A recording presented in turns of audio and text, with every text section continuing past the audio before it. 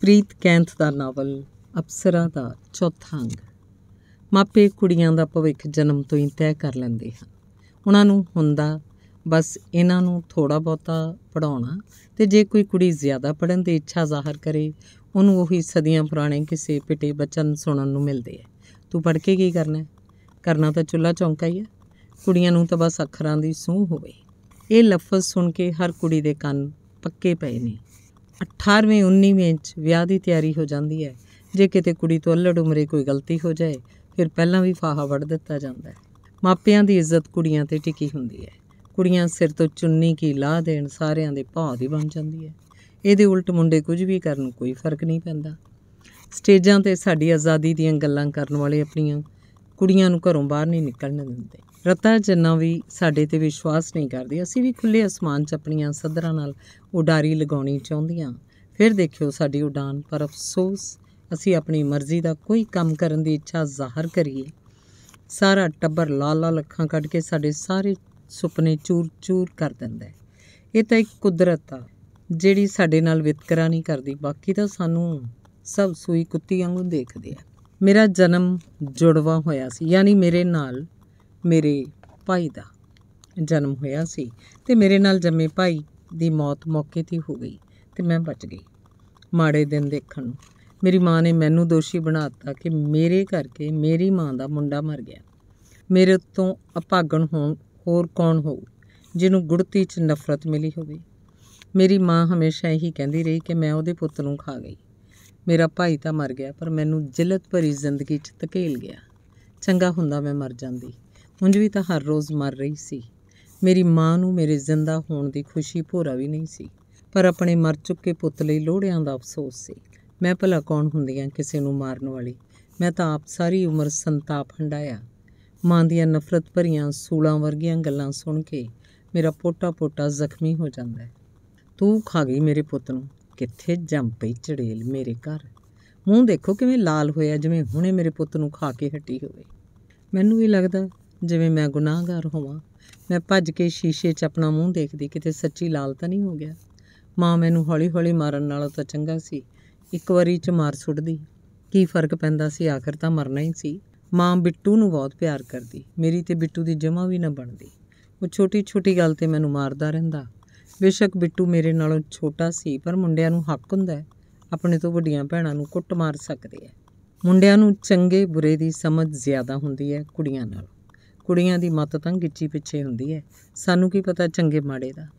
ਮੈਂ ਖੁਸ਼ ਹੋਣ ਦੇ ਨਿੱਕੇ ਨਿੱਕੇ ਮੌਕੇ ਲੱਭਦੀ। ਸਕੂਲ ਦਾ ਕੰਮ ਕਰਨ ਵੇਲੇ ਮੈਂ ਰੇਡੀਓ ਚਲਾ ਲੈਂਦੀ। ਇਹ ਰੇਡੀਓ ਪਾਪਾ ਦਾ ਸੀ। ਉਹ ਅਕਸਰ ਬੈਂਕ ਤੋਂ ਆ ਕੇ ਸੁਣਦੇ ਹੁੰਦੇ ਸੀ। ਪਾਪਾ ਉਹਨਾਂ ਨੂੰ ਚਿੱਠੀਆਂ ਵੀ ਪਾਉਂਦੇ। ਜਦੋਂ ਰੇਡੀਓ ਵਾਲੇ ਕੁੜੀ ਪਾਪਾ ਦੀ ਚਿੱਠੀ ਪੜ੍ਹਦੀ, ਪਾਪਾ ਬਹੁਤ ਖੁਸ਼ ਹੁੰਦੇ। ਸਾਰਿਆਂ ਨੂੰ ਦੱਸਦੇ ਚਿੱਠੀ ਮੈਂ ਭੇਜੀ ਹੈ ਰੇਡੀਓ ਦੀ ਮੈਨੂੰ ਵੀ ਆਦਤ ਪੈ ਗਈ ਸੀ। ਰੇਡੀਓ ਤੋਂ ਚੱਲਦੇ ਪੁਰਾਣੇ ਗਾਣੇ ਮੇਰੇ ਮੂੰਹ ਜਵਾਨੀ ਯਾਦ ਹੋ ਗਈ ਸੀ। ਮੇਰਾ ਵੀ ਦਿਲ ਕਰਦਾ ਮੈਂ ਰੇਡੀਓ ਵਾਲਿਆਂ ਨੂੰ ਚਿੱਠੀ ਪਾਵਾਂ ਤੇ ਆਪਣੇ ਦਿਲ ਦਾ ਹਾਲ ਸੁਣਾਵਾਂ। ਪਰ ਇਹ ਸਭ ਕਿਸ ਤਰ੍ਹਾਂ ਹੁੰਦਾ ਮੈਨੂੰ ਨਹੀਂ ਸੀ ਪਤਾ। ਕਰਮੀ ਦਾ ਮੇਰੀ ਜ਼ਿੰਦਗੀ 'ਚ ਅਹਿਮ ਰੋਲ ਸੀ। ਸਕੂਲ 'ਚ ਵੀ ਮੈਂ ਸਾਰਾ ਦਿਨ ਕਰਮੀ ਨਾਲ ਰਹਿੰਦੀ, ਘਰ ਆ ਕੇ ਵੀ ਜਦੋਂ ਸਮਾਂ ਲੱਗਦਾ, ਮੈਂ ਮਾਂ ਤੋਂ ਅੱਖ ਬਚਾ ਕੇ ਕਰਮੀ ਕੋਲ ਚਲੀ ਜਾਂਦੀ। ਮੇਰਾ ਚਾਚਾ ਯਾਨੀ ਕਰਮੀ ਦੇ ਪਾਪਾ ਖੇਤੀ ਕਰਦੇ ਸੀ। ਚਾਚੇ ਦਾ ਕੋਈ ਮੇਰੇ ਘਰ ਨਾ ਆਉਂਦਾ ਕਿਉਂਕਿ ਮਾਂ ਕਿਸੇ ਨਾਲ ਨਾ ਵਰਤਦੀ, ਮਾਂ ਨੂੰ ਕੋਈ ਵੀ ਚੰਗਾ ਨਾ ਲੱਗਦਾ ਤੇ ਜਦੋਂ ਕੋਈ ਘਰ ਆਉਂਦਾ ਤਾਂ ਮੱਥੇ ਵੱਟ ਪਾ ਲੈਂਦੀ। ਕਰਮੀ ਪੜ੍ਹ ਕੇ ਸਰਕਾਰੀ ਟੀਚਰ ਬਣ ਗਈ। ਸੁਣਿਆ ਕਰਮੀ ਦਾ ਵਿਆਹ ਹੋ ਗਿਆ, ਮੁੰਡਾ ਵੀ ਸਰਕਾਰੀ ਮਾਸਟਰ ਆ, ਦੋ ਬੇਟੇ ਵੀ ਹੋ ਗਏ। ਕਰਮੀ ਨਾਲ ਮੇਰਾ ਬਸ ਇੱਕੋ ਰੁੱਸਾ ਹੈ। ਕਦੇ ਵੀ ਚੰਦਰੀ ਨੇ ਮੇਰਾ ਹਾਲ ਜਾਣਨ ਦੀ ਕੋਸ਼ਿਸ਼ ਨਹੀਂ ਕੀਤੀ। ਮੈਨੂੰ ਉਹਦਾ ਕਦੇ ਵੀ ਕੋਈ ਸੁਨੇਹਾ ਨਾ ਆਇਆ। ਮੈਂ ਕਿੰਨਾ ਕਰਦੀ ਸੀ ਕਮਲੀ ਦਾ। ਪਰ ਆਪ ਉਹਨੇ ਮੈਨੂੰ ਰਾਤ ਦੇ ਸੁਪਨੇ ਵਾਂਗ ਵਸਾਰਤਾ। ਤੇ ਜਦੋਂ ਕੋਈ ਮੂੰਹ ਭਿੱਜੇ ਲਫ਼ਜ਼ਾਂ ਨਾਲ ਹਮਦਰਦੀ ਜਤਾਉਂਦਾ ਤਾਂ ਦਿਲ ਨੂੰ ਬਹੁਤ ਸਕੂਨ ਮਿਲਦਾ।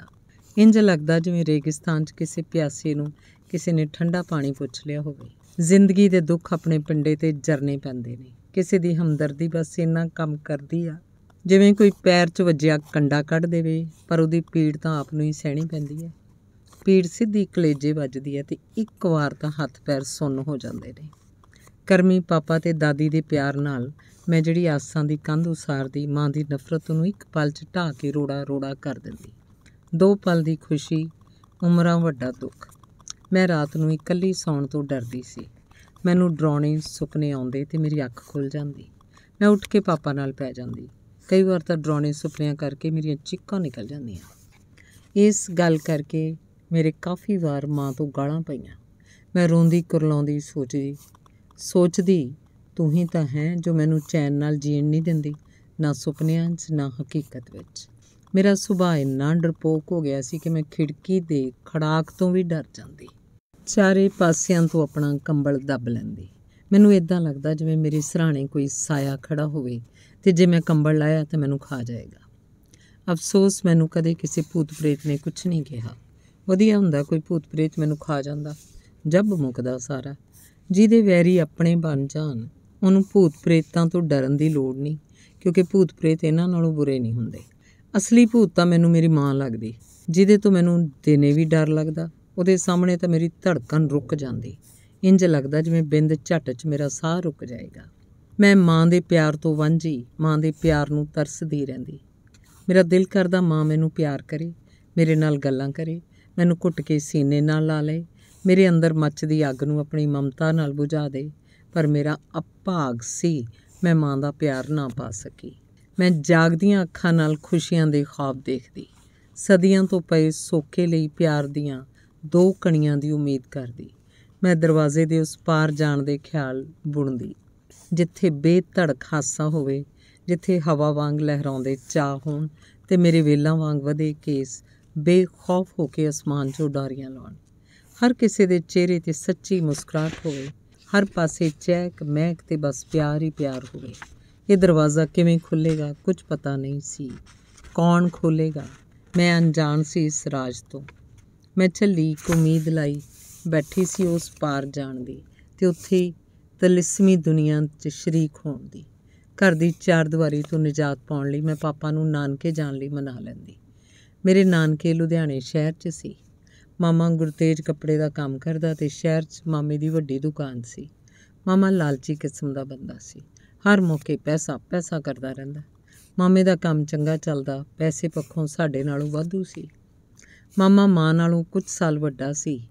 ਮੇਰੇ ਨਾਨਾ ਨਾਨੀ ਦੀ ਮੇਰੇ ਜਨਮ ਤੋਂ ਕਾਫੀ ਸਮਾਂ ਪਹਿਲਾਂ ਇੱਕ ਕਾਰ ਐਕਸੀਡੈਂਟ 'ਚ ਇਕੱਠਿਆਂ ਦੀ ਮੌਤ ਹੋ ਗਈ ਸੀ। ਮਾਮਾ ਗੁਰਤੇਜ ਤੇ ਮੇਰੀ ਮਾਂ ਤੇਜ ਕੌਰ ਦੋ ਹੀ ਭੈਣ ਭਾਈ ਸਨ। ਮੇਰੀ ਮਾਂ ਨਾਮ ਤੋਂ ਹੀ ਤੇ ਉਂਝ ਵੀ ਤੇਜ਼, ਸਰੀਰ ਦੀ ਫਰਤੀਲੀ, ਬੋਲ 'ਚ ਤੇਜ਼ ਤਰਾਰ ਕਿਸੇ ਨੂੰ ਇੱਕ ਨਾ ਗਿਣਨ ਦਿੰਦੀ। ਨਾਨਕੇ ਘਰ ਮੇਰਾ ਦਿਲ ਲੱਗ ਜਾਂਦਾ। ਮੇਰਾ ਦਿਲ ਕਰਦਾ ਮੈਂ ਇੱਥੋਂ ਜਾਵਾਂ ਹੀ ਨਾ, ਇੱਥੇ ਹੀ ਰਹਾਂ। ਮਾਮੇ ਦੇ ਦੋ ਬੇਟੇ ਸੀ, ਵੱਡਾ ਵੀਰਾ, ਗੁਰਦੀਪ ਤੇ ਛੋਟਾ ਜਗਦੀਪ। ਦੋਵੇਂ ਮੈਨੂੰ ਬਹੁਤ ਬਹੁਤ ਕਰਦੇ ਤੇ ਮਾਮੀ ਦਾ ਸੁਭਾਅ ਵੀ ਚੰਗਾ ਸੀ। ਮੈਂ ਸੋਚਦੀ, ਰੱਬਾ, ਮੈਨੂੰ ਇਸੇ ਘਰ ਜਨਮ ਕਿਉਂ ਨਾ ਦਿੱਤਾ?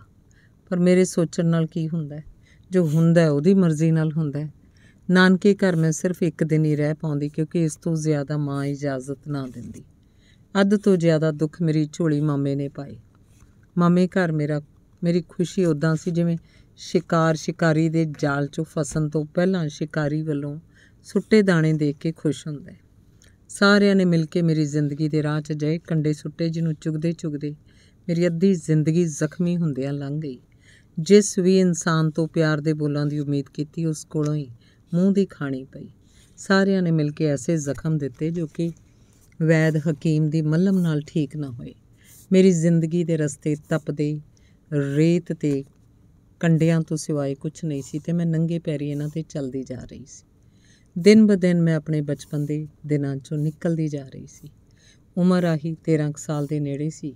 ਕਹਿੰਦੇ ਮਾੜੇ ਹਾਲਾਤ ਬੰਦੇ ਨੂੰ ਉਮਰ ਨਾਲੋਂ ਜ਼ਿਆਦਾ ਸਿਆਣਾ ਬਣਾ ਦਿੰਦੇ ਆ ਤੇ ਮੈਂ ਆਪਣੀ ਉਮਰ ਨਾਲੋਂ ਜ਼ਿਆਦਾ ਉਮਰ ਦੀ ਲੱਗਦੀ। ਮੈਂ ਆਪਣੇ ਆਪ ਨੂੰ ਜਵਾਨੀ ਦੀ ਦਹਲੀਜ਼ ਤੇ ਖੜੀ ਮਹਿਸੂਸ ਕਰਦੀ। ਮੇਰੇ ਅੰਗਾਂ 'ਚੋਂ ਜਵਾਨੀ ਦੀ ਮਹਿਕ ਆਉਣ ਲੱਗੀ ਤੇ ਹੱਡਾਂ ਪੈਰਾਂ ਦੀ ਖੁੱਲੀ ਹੋਣ ਕਰਕੇ ਮੈਂ ਜਵਾਨ ਲੱਗਦੀ। ਘਰ ਦਾ ਮਾਹੌਲ ਮਾੜਾ ਹੋਣ ਕਰਕੇ ਹਰ ਸਮੇਂ ਤਣਾਅ ਰਹਿੰਦਾ ਸੀ। ਮਾਂ ਤੇ ਪਾਪਾ ਵਿਚਕਾਰ ਦੂਜੇ ਤੀਜੇ ਦਿਨ ਲੜਾਈ ਰਹਿੰਦੀ ਸੀ।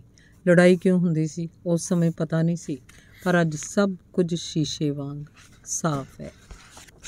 ਅੰਗ ਪੰਜਵਾਂ। ਇੱਕ ਦਿਨ ਸਵੇਰ ਦੀ ਗੱਲ ਹੈ, ਆਂਟੀ ਘਰ ਨਾ ਆਈ। ਆਂਟੀ ਹਰ ਰੋਜ਼ ਸਵੇਰੇ ਘਰ ਦਾ ਕੰਮ ਕਰਨ ਆਉਂਦੀ ਸੀ ਪਰ ਅੱਜ ਆਂਟੀ ਆਈ ਨਾ।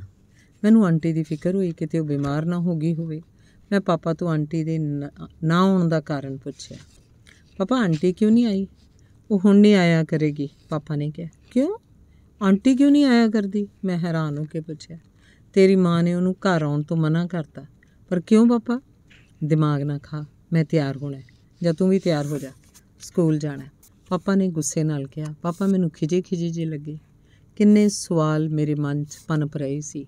ਖਾਸ ਤਾਂ ਇਹੀ ਸੀ ਕਿ ਆਂਟੀ ਨੂੰ ਮਾਂ ਨੇ ਮਨਾ ਕਿਉਂ ਕੀਤਾ। ਇਦਾਂ ਦੀ ਆਂਟੀ ਨੇ ਕੀ ਗਲਤੀ ਕਰਤੀ? ਆਂਟੀ ਬਿਨਾਂ ਘਰ ਖਾਲੀ ਖਾਲੀ ਲੱਗਿਆ। ਬਚਪਨ ਤੋਂ ਲੈ ਕੇ ਹੁਣ ਤੱਕ ਆਂਟੀ ਨੇ ਮੈਨੂੰ ਆਪਣੀਆਂ ਧੀਆਂ ਵਾਂਗ ਪਾਲਿਆ। ਮੈਨੂੰ ਵੀ ਆਪਣੀ ਮਾਂ ਤੋਂ ਵੱਧ ਕੇ ਲੱਗਦੀ। ਆਂਟੀ ਬਿਨਾਂ ਮੇਰਾ ਦਿਲ ਨਾ ਲੱਗਦਾ। ਮੈਂ ਆਪਣੇ ਕਮਰੇ 'ਚ ਵੜ ਕੇ ਰੋਂਦੀ ਰਹਿੰਦੀ। ਮਾਂ ਮੇਰੇ ਤੋਂ ਹਰ ਇੱਕ ਖੁਸ਼ੀ ਖੋ ਰਹੀ ਸੀ। ਪਾਪਾ ਨਾਲ ਵੀ ਹੁਣ ਤਾਂ ਹਰ ਰੋਜ਼ ਝਗੜਾ ਹੁੰਦਾ। ਪਾਪਾ ਚੁੱਪਚਾਪ ਰਹਿੰਦੇ ਤੇ ਆਪਣੇ ਕੰਮ 'ਚ ਚਲੇ ਜਾਂਦੇ। ਮੇਰੀ ਤੇ ਪਾਪਾ ਦੀ ਹਾਲਤ ਉਹਨਾਂ ਦੋ ਬਲਦਾਂ ਵਰਗੀ ਸੀ, ਜਿਹਦਾ ਮਾਲਕ ਬਹੁਤ ਨਿਰਦਈ ਸੀ। ਸਾਨੂੰ ਇਕੱਠਿਆਂ ਜੋੜ ਕੇ ਸਾਡੇ ਡੰਡੇ ਮਾਰਦਾ ਤੇ ਅਸੀਂ ਬਿਨਾਂ ਕੁਝ ਖਾਦੇ ਪੀਤੇ ਜੇ ਠਾੜ ਦੀਆਂ ਧੁੱਪਾਂ 'ਚ ਖੇਤਾਂ ਦਾ, ਖੇਤਾਂ ਦੀ ਹਿੱਕ ਪਾੜਦੇ। ਹਾਲਤ ਇੱਥੋਂ ਤੱਕ ਬਦਤਰ ਸੀ ਕਿ ਮੈਂ ਕਿਸੇ ਚੀਜ਼ ਦੇ ਡਿੱਗਣ ਦੇ ਖੜਾਕ ਤੋਂ ਵੀ ਡਰ ਜਾਂਦੀ। ਮੈਂ ਆਪਣਾ ਕੱਲਾ ਕੱਲਾ ਸਾਹ ਵੀ ਗਿਣ ਕੇ ਲੈਂਦੀ। ਮਾਂ ਕੋਲੋਂ ਡਰ ਡਰ ਕੇ ਦਿਨ ਕੱਢਦੀ। ਮੇਰੀ ਛੋਟੀ ਜੀ ਗਲਤੀ ਤੇ ਮਾਂ ਨੂੰ ਮੌਕਾ ਮਿਲ ਜਾਂਦਾ। ਮੈਨੂੰ ਜਾਨਵਰਾਂ ਵਾਂਗੂ ਮਾਰਨ ਦਾ। ਮੇਰੇ ਸੱਜੇ ਹੱਥ ਦੀ ਉਂਗਲ ਅਜੇ ਵੀ ਸਿੱਧੀ ਨਹੀਂ ਹੁੰਦੀ। ਮਾਂ ਨੇ ਡੰਡਾ ਮਾਰਿਆ ਸੀ ਤੇ ਉਂਗਲ ਦੀ ਹੱਡੀ ਟੁੱਟ ਗਈ ਸੀ। ਗਲਤੀ ਸਿਰਫ ਇੰਨੀ ਸੀ ਕਿ ਮੈਂ ਕਰਮੀ ਦੇ ਘਰ ਖੇਡ ਰਹੀ ਸੀ। ਮਾਂ ਨੂੰ ਇਹ ਬਿਲਕੁਲ ਵੀ ਚੰਗਾ ਨਹੀਂ ਲੱਗਦਾ ਸੀ। ਮੇਰਾ ਬਚਪਨ ਇਸੇ ਕੁੱਟਮਾਰ ਥੱਲੇ ਦੱਬਿਆ ਗਿਆ। ਮੈਂ ਆਪਣੀ ਮਰਜ਼ੀ ਦਾ ਕੁਝ ਵੀ ਨਾ ਕਰ ਸਕੀ। ਮੇਰੇ 'ਚ ਇੰਨੀ ਹਿੰਮਤ ਵੀ ਨਹੀਂ ਸੀ ਕਿ ਮੈਂ ਕਿਸੇ ਅੱਗੇ ਦੋ ਬੋਲ ਵੀ ਕੱਢ ਸਕਾਂ।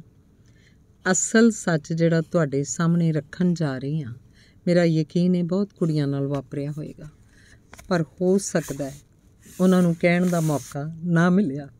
ਪਰ ਹੋ ਸਕਦਾ ਹੈ ਉਹਨਾਂ ਨੂੰ ਕਹਿਣ ਦਾ ਮੌਕਾ ਨਾ ਮਿਲਿਆ ਹੋਵੇ ਜਾਂ ਉਹ ਕਹਿਣ ਤੋਂ ਡਰ ਗਈਆਂ ਹੋਣ। ਕਿਤਾਬ ਦੇ ਪੰਨਿਆਂ ਵਾਂਗ ਮੈਂ ਸਭ ਕੁਝ ਪਲਟ ਕੇ ਰੱਖ ਦਿਆਂਗੀ ਬਿਨਾਂ ਕਿਸੇ ਪਰਦੇ ਤੋਂ। ਅੱਜ ਲਿਖਣ ਲੱਗਿਆਂ ਵੀ ਮੇਰੀ ਧੜਕਨ ਤੇਜ਼ ਹੋ ਰਹੀ ਹੈ। ਜਿਵੇਂ ਉਸ ਰਾਤ ਹੋਈ ਸੀ। ਮੇਰੇ ਨਰਮ ਤੇ ਕੱਚੇ ਗੋਸ਼ਤ ਤੇ ਚੱਲ ਰਹੀ ਆਰੀ ਦੀ ਤਪਸ਼ ਨਾਲ ਲਹੂ ਦੀ ਆਰੀ ਗੰਧ ਪੂਰੀ ਕਾਇਨਾਤ 'ਚ ਹੁੰਦੀ ਹੋਈ ਦੇਵਲੋਕ ਪਹੁੰਚ ਗਈ। ਪਰ ਅਫਸੋਸ ਕੋਈ ਦੇਵੀ ਦੇਵਤਾ ਮੇਰੀ ਮਦਦ ਲਈ ਨਾ ਮੋੜਿਆ। ਮੈਂ ਸੁਣਿਆ ਜਦੋਂ ਭਰੀ ਸਭਾ 'ਚ ਦ੍ਰੋਪਦੀ ਦੇ ਕੱਪੜੇ ਉਤਾਰੇ ਜਾ ਰਹੇ ਸੀ ਤਾਂ ਕ੍ਰਿਸ਼ਨ ਭਗਵਾਨ ਖੁਦ ਪ੍ਰਗਟ ਹੋਏ ਤੇ ਦ੍ਰੋਪਦੀ ਦੀ ਲਾਜ ਰੱਖੀ ਤੇ ਮੇਰੀ ਵਾਰੀ ਕੋਈ ਭਗਵਾਨ ਨਾ ਬੋੜਿਆ ਆਪ ਨਾ ਆਉਂਦਾ ਆਪਣੇ ਕਿਸੇ ਫਰਿਸ਼ਤੇ ਨੂੰ ਹੀ ਭੇਜ ਦਿੰਦਾ। ਮੈਨੂੰ ਵੀ ਤੇਰੀ ਹੋਣੀ ਦਾ ਅਹਿਸਾਸ ਹੋ ਜਾਂਦਾ। ਬਹੁਤੀਆਂ ਕੁੜੀਆਂ ਇਹਨਾਂ ਹਾਦਸਿਆਂ ਨੂੰ ਆਪਣੇ ਅੰਦਰ ਕੈਦ ਕਰਕੇ ਰੱਖ ਲੈਂਦੀਆਂ। ਮੈਂ ਸਭ ਕੁਝ ਬਿਆਨ ਕਰ ਰਹੀ ਹਾਂ। ਮੈਨੂੰ ਉਮੀਦ ਹੈ ਤੁਸੀਂ ਮੇਰੇ ਦਰਦ 'ਚ ਸ਼ਰੀਕ ਹੋਵੋਗੇ ਤੇ ਉਹਨਾਂ ਲੱਖਾਂ ਕੁੜੀਆਂ ਲਈ ਦੁਆ ਕਰੋਗੇ, ਜੋ ਨਰਕ ਦੀ ਜ਼ਿੰਦਗੀ ਜੀ ਰਹੀਆਂ ਹਨ। ਧੰਨਵਾਦ। ਚੱਲਦਾ।